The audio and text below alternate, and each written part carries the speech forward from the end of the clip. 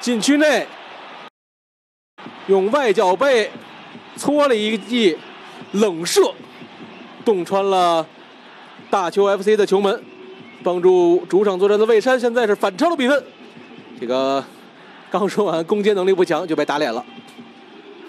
卡扎伊什维利来自于格鲁吉亚的球员，本赛季的第二个进球。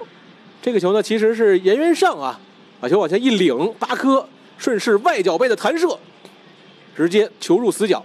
这个球吴承训呢也是鞭长莫及，站位本身也是向左边啊移动了一点点，所以巴科打反脚的时候呢，也是扑救不及啊，够不到。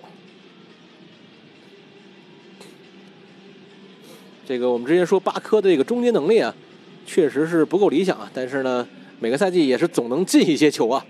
这个球出出现的还是很关键的。这样的话呢，比赛临近尾声的时候，巴科帮助蔚山现代在主场现在取得领先了。